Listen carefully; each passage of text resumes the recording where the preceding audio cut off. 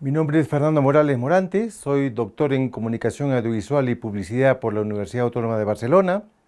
Soy peruano, vivo hace 12 años en España. Mi especialidad es la comunicación audiovisual y, concretamente la edición en video. Y en esta oportunidad he venido a la Universidad Continental a hacer un seminario sobre edición y persuasión.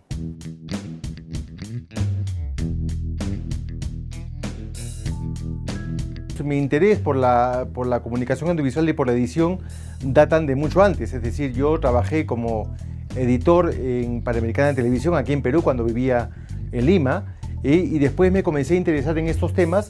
La importancia de la edición en la comunicación audiovisual es fundamental. Normalmente cuando se crean piezas audiovisuales, se realizan programas, eh, se presta más atención en el contexto de los guiones, en el contexto de los actores y muchas veces se desatiende la parte del acabado del programa.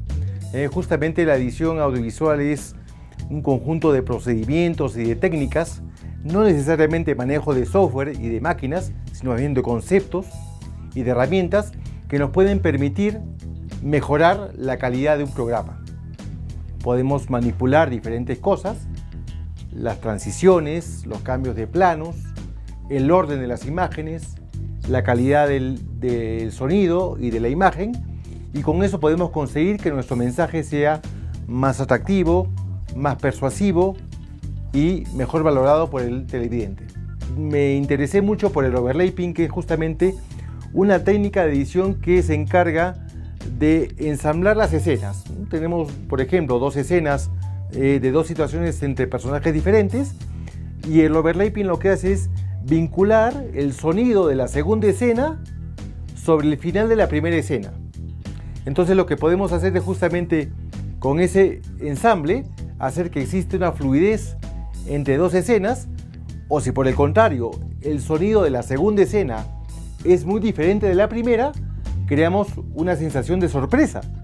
¿no? Porque si yo escucho un golpe fuerte, un choque de un automóvil que se estrella violentamente y que ese sonido va en una escena silenciosa, entonces quedará una sensación de pánico, de susto, que justamente se utiliza expresamente por los cineastas y por los montadores para crear susto y alarma en el televidente. Claro, si yo este conocimiento lo aplico en productoras o esta técnica la aprende gente de forma sistemática y la aplica a la realización de sus películas, podrá controlar diferente tipo de emociones y podrá manipular de alguna forma las reacciones del público en función a cómo ordene o distribuye los elementos sonoros y visuales que existen en el video. La tecnología de la televisión se ha hecho muy barata.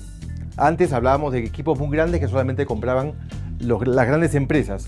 Ahora cualquier alumno con poco dinero se monta su cámara, se monta su isla de edición y comienza a producir.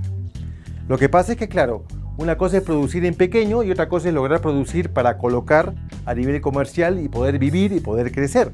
Es más difícil competir en Lima, pero sí podemos alimentar a los canales locales con lo cual hay un espacio de desarrollo, pero claro, un espacio limitado, porque las grandes inversiones publicitarias las tendrán los grandes canales y los productores jóvenes no tendrán acceso a estas cosas. La televisión tecnológicamente, claro, ha avanzado mucho, estamos en un proceso de crecimiento barra desarrollo importante, han creado, se han creado nuevos medios, se está produciendo mucha televisión, eso es importante porque hay trabajo para los comunicadores es la parte positiva. La parte negativa es la calidad del contenido que se está haciendo.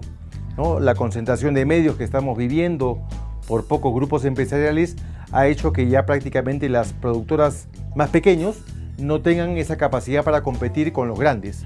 Y eso genera una desventaja que los grandes imponen un modelo de comunicación que es pobre, ¿no? que es ruin y que no hace otra cosa que embrutecer a la gente. ¿ah? Aportan pero en negativo dentro de lo que se puede hacer, intentar innovar, intentar cambiar.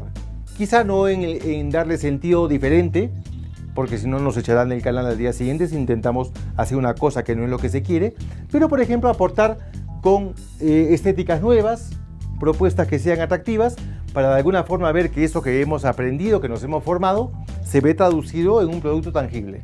Y también competir a nivel de, festivales, para que ya tengan un reconocimiento, porque los alumnos lo que necesitan es que los reconozcan, ¿no? Así que se presenten a concursos y que vayan ganando y que justamente con eso puedan ir aprendiendo y se puedan ir haciendo conocidos para que después efectivamente puedan ser contratados por otras empresas.